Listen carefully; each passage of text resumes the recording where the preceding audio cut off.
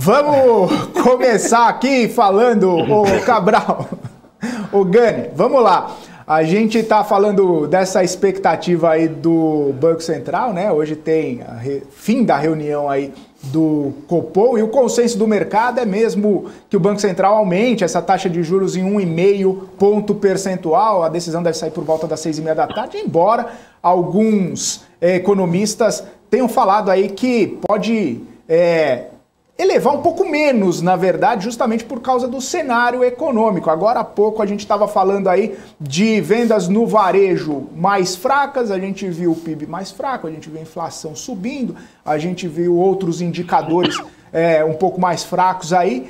E aí eu queria saber de vocês como que vocês veem essa situação, né? É, vamos ter o sétimo aumento seguido, com certeza, do Banco Central né? Mas 1,5, 1,25, como que vocês veem essa situação, principalmente por conta dos indicadores é, econômicos que a gente tem visto serem divulgados aí?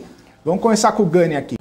Então, Felipe, embora os indicadores de atividade eles tenham vindo uh, mais fracos, eu acho que o Copom dará um e meio. É, por quê? Primeiro, porque toda a comunicação dele levou a um e-mail e comunicação de Banco Central com a sociedade é algo bastante importante, bastante sério. Eu acho que uma mudança na comunicação poderia gerar aí alguma volatilidade no mercado, uma, talvez uma, uma perda de uh, confiança, né? Então é muito importante essa comunicação, inclusive para ancorar as expectativas.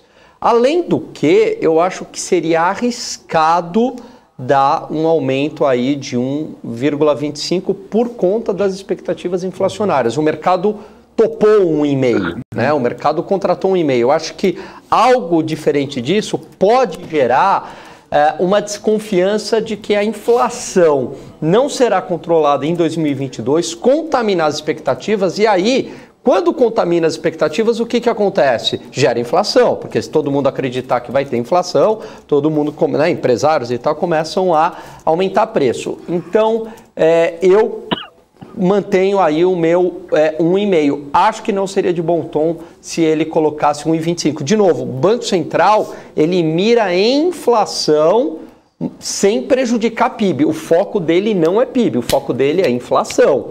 É, mas é lógico que ele faz isso de uma maneira sustentável para não prejudicar muito a atividade econômica.